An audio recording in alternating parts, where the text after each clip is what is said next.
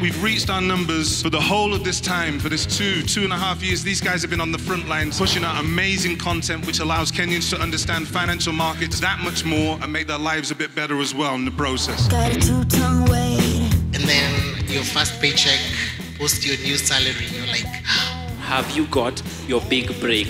probably put in about A lot of people look at entrepreneurship um, and what you see is the big, the big break, but nobody talks about all the prior step to that, being excellent at your current job. What's up, people? Today is the D-Day. We are celebrating 1 million financially educated people, and we are at Skate City, Nairobi, third, Pla- third Parklands Avenue. So let's go inside. They have an amazing, amazing entrance here. I'm actually looking at the space and I'm thinking, wow, it's mind blowing. We have the skating rink. Journey to 1 million. And today we are done with that journey. I can promise you, amazing. We are FX Pesa. We make dreams come true.